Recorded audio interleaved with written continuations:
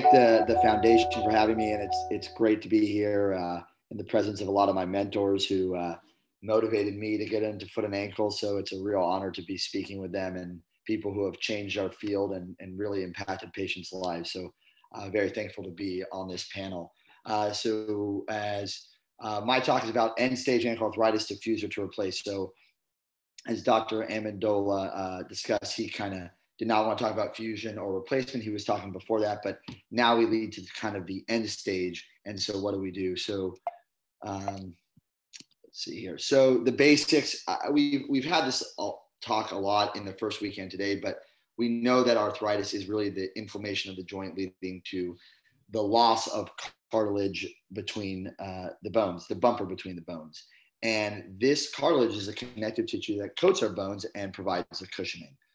The ankle, as Dr. Amendola just told us, um, you know, it's three bones, the tibia, the fibula, and the talus, and there's a lot of stability with the ligaments. And disruption of both of these factors is what leads to this arthritis. The ankle joint itself uh, functions in dorsiflexion and plantar flexion and really has minimal inversion eversion. That's the, the main function and the biomechanics of the ankle. And I know Dr. Brodsky gave a great talk last week about the biomechanics, which is much more complex than that. Um, but we, we know it's a very complex joint. Um, normal ankles we can see on the left often, you know, has a good joint space, but as prior lectures have shown, and when we get this arthritic ankle, we, we lose that joint space and that affects our mechanics, our gait, and, and leads to chronic pain. Um, ankle arthritis, eh, very interestingly enough, is much less common than the hip and knee. But I think the reason why we as foot and ankle surgeons are so passionate about it is because it's extremely disabling and it's becoming much more common. Uh, the uh, it is equivalent to kidney disease or advanced heart disease. So these patients really suffer. It really affects their quality of life, and because uh, a lot of times it's related to post-traumatic arthritis, as um, our prior lectures have shown, uh, it, it's occurring in a lot younger patients, and so we need to continually innovate and find good solutions for these uh, patients where hip and knee arthritis tends to, to happen in our older population. So ankle arthritis, as we know, uh, primarily in the hip and knee, it's very common to be wear and tear. Uh, but in the ankle, that's very uncommon. It's oftentimes post traumatic. So we have a wide spectrum of patients from very young patients to, to the elderly who have ankle arthritis, and that affects the treatments we can do. Also, chronic ankle instability, the ligamentous structures that balance the ankle, as Dr. Amendola just showed, patients with instability, chronic instability, can lead to various types of ankle arthritis and then inflammatory arthritis as well, those with rheumatoid uh, arthritis or lupus, etc. So common presentations of the ankle arthritis are uh, pain with weight bearing, altered gait, uh, shorter stride, uh, leg externally rotated, uh, which can lead to then further problems in the knee, the hip, and the back. Uh, often stiffness in the morning, stiffness throughout the day, and night pain, especially when it gets advanced. And these are all problems that lead to arthritis being very debilitating. I think on exam for us, it's very important when we examine patients. And for me, as my talk is uh, how to you know fuse or replace, part of this is in the exam. Uh, we need to assess for swelling and tenderness, and then certain factors: the range of motion of the ankle, the range of motion of the other joints, the subtalar joint, the transverse tarsal joints, are important, especially for me in deciding options for the patient. Are they a good candidate for an ankle fusion or are they a good candidate for an ankle replacement or both? Deformity. This is also very important because oftentimes, sometimes there be an intrinsic deformity in the ankle, or it may be higher up in the tibia or even in higher up in the knee. And sometimes we have to correct these deformities at the same time while we do a fusion or a uh, replacement or a stage process. And then obviously seeing the patient walk uh, is important, looking at their gait and their biomechanics, as well as adjacent joint arthritis, which I think I'll allude to later, uh, plays into my decision of what to do. So we, we've gone over, over non-operative intervention quite a bit, uh, but for me, it's activity modification, shoe wear modification, anti-inflammatories, icing, steroid injection, and braces. And just as we discussed today, and Dr. Amendola mentioned, orthotics, uh, uh, are my prosthetist, uh, bracing is, is a huge role in non-operative foot and ankle surgery and in ankle arthritis. Uh, I have many patients who are too sick to undergo surgery, and these modalities can really help them get by and improve their quality of life and their function, where they may not need anything. However, when these uh, interventions fail, we do have very good operative interventions for these end stage uh, ankle arthritis. And we've gone over some other type of interventions, arthroscopy, debridements, uh, biologic resurfacing. But in terms of fusion and replacement, this is often what we're considering when we have full ankle arthritis in the entirety of the ankle and end stage, and these other modalities uh, will not provide the relief or the outcomes that uh, we desire and our patients desire. So, what is an ankle fusion? Where uh, ankle fusion is where we actually remove the remainder of the cartilage within the uh, ankle joint and weld those bones together. And we weld them together um, uh, to build basically one bone. That uh, will eliminate the motion in the joint and essentially uh, eliminate the pain. Uh, for this, we'll talk about later. You know, our patients who have arthritic ankles due to uh, neuropathic ankles, significant stiffness, if they have arthritis in other joints. So if they have arthritis or no, excuse me, no arthritis in other joints, uh, because uh, we know that if the all the joints around the talus become fused or arthritic, these patients do very poorly.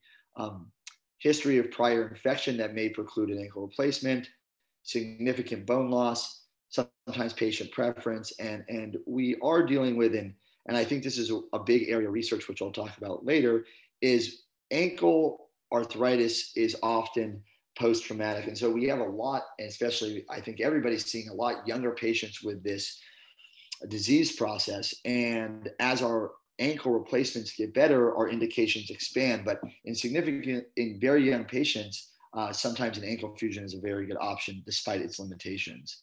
Um, the benefits of an ankle fusion are it, it, if it heals, it can last a very long time. But the negatives are we lose our motion, we have altered gait mechanics, we have a, we can get adjacent joint arthritis, and oftentimes it's a longer recovery. However, this is a very good surgery. I do it all the time. Um, patients who have good subtalar and transverse tarsal range motions do very well, live a very active lifestyle, and are, are very happy. Um, Traditional ankle fusions often have a larger incision. They're done with combination of screws and plates. And this is just an, another example of a, a post-traumatic ankle fusion uh, I fixed with screws who, who did very well uh, post-op. Um, however, our ankle fusions have become more advanced. Uh, we've been able to do this through smaller incisions. Our implants have come better.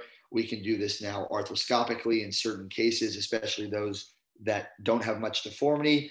Um, and we can correct these through minimally invasive approaches. And again, uh, in, in, this case as well, we have our orthobiologics, so our stem cells, our PRP, bone marrow aspirate, uh, certain uh, other uh, biologics uh, that are synthetic have are getting better, and this can help improve our fusion rates and improve our outcomes in our patients. So ankle replacement. So ankle replacements, uh, you know, this is where we actually, just like the hip or the knee, replace the joint with metal implants in the spacer. Uh, oftentimes, there's a our indications for these. These implants are getting better and better, but in general, we look for somewhat of an older population, um, especially if there's adjacent joint arthritis. You know, like I said, we a very stiff foot when everything is arthritic around the the talus this can be problematic. So uh, in patients who have subtalar arthritis, talonavicular arthritis, even if it's early, I, I, I hope that I try to do an ankle replacement in these patients. Good range of motion, more active. I think with a the ankle replacement, patients now can get back to hiking, swimming, um, golf, uh, high pace walking. Um, and even some jogging. Uh, impact sports are still a little difficult, but these patients can be very active and oftentimes they like to maintain their motion so they can maintain these type of activities. Uh, obviously, good, bone stock and sometimes, um, you know, patient preference. However, with all my patients, I, I go into a deep informed consent about the risk and benefits of these both fusion and total ankle replacement. And we make a team decision often based off various these various factors.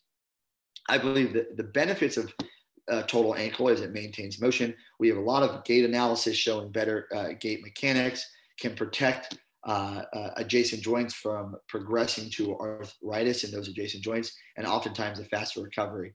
However, another area which I think the purpose of this conference is, you know, is is shelf life, the longevity. Uh, these implants are getting better and better, uh, but you know, our longevity of them is still around 15 to 20 years, where the hip and the knee can be, you know, 25 to 30 years. So we need to continue to advance this research so we can get uh, these implants, are primary implants, lasting longer. Uh, for our, you know, the history of ankle replacements, as I alluded to, uh, uh, they're much better than they were. The early generations had higher failure rates. They lacked anatomic reconstruction, and our technology was at not, just not there. However, as we advanced, our these implants have become significantly better for multiple reasons. The anatomy is matched better to improve gait and biomechanics, as well as we've been able to remove less bone, which preserves the anatomy, allows for revision cases to happen, and can lead us to being able to revise these implants without having to do a big uh, fusion, which is, I think, has really allowed us to advance our indications and the patients that can receive these implants and has allowed for them to last longer and our and our gait to be better. Another advancement that we've done over the last several years is uh, preoperative planning. In my opinion, this has really changed the game in total ankles because we're able to dial in our correction, our sagittal coronal alignment, um, and better balance uh, the, the total ankle replacement. Uh, this allows us to predict the size of the implant and anticipate surgical challenges. And these are just examples of some of my uh, cases that we've been able to uh, sample reports that just show we are able to really improve um, our pre-op planning and our position of our replacement, which our alignment and getting this implant in, the correct sagittal and coronal plane have shown to improve the longevity of these implants. Along with this is the 3D printed guides that come with this. This is improve our efficiency, surgical time less, improve the reproducibility. If we can decrease the variability and improve the reproducibility, we're going to do a better surgery. It's about reps. And if we can do this more accurately, more precisely every time, our, our implants are going to go in better and they're going to last longer. And I believe this is what's been shown to improve outcomes. Also, our materials are better. So, again, more research. Our materials are better. They allow for better bony ingrowth. They last longer, and this improves stability. We've also, in, in the hip and the knee, there's great revision systems. We, we lack that in the ankle. But now, with our technology, replacing the replacement has been better. So we have better revision options now. Uh, this allows us to improve the longevity of the total ankle in general because we have a revision system. We can have better functional outcomes and we can theoretically avoid complex fusions that we know sometimes have poor outcomes in these patients. So advancements in total ankles has the better anatomy, better planning, better technology, better materials, better revisions, has allowed us to advance uh, doing this in more patients and I think improve our outcomes. But this is the research has driven this um, field and has really uh, made this beneficial to our patients. However, just like the last talk, I think we're still on a long road. I think there's a lot more research that needs to be done, and I think we can make these implants better. So, how do I put all these pieces together? Well, in general, uh, uh, for a uh, total ankle, you know, I'm looking at patients' age. I tend to do this in slightly patients who are 55 and up. If they have adjacent joint arthritis, I really would like to do a total ankle in them to, to preserve uh, the motion in the ankle and minimize the stresses on the other joint, especially if they're going to need another fusion. Relatively good range of motion. It's not a hard rule, but I like trying to preserve that range motion to give them that function and allow them to maintain that motion and the activities they like to do. More active patients. Again, I don't think that's a hard rule, but my patients who like to golf, uh, walk, hike, swim, I think this is a great option for them to maintain that motion. And, and there's been literature to show that they, patients, uh, outcomes and perceived outcomes are better in these cases as well. personal choice. Some people want it, and informed consent. Obviously, speaking with the patient about the risk and benefits of this. Fusions, oftentimes younger post-traumatic patients. Uh, I think sometimes I again I have informed discussion with these patients, but if they're really young, sometimes the longevity of the ankle is just not there yet. But I hope with future research we can get these implants lasting longer. The neuropathic ankle, prior infection, poor bone stock. If you just don't have bone stock for a total ankle, it's not going to work. And so I think these patients do great with a fusion and any other contraindication to total ankle replacement. Um, I do think that total ankle replacement in our field, these are some of my happiest patients that I have.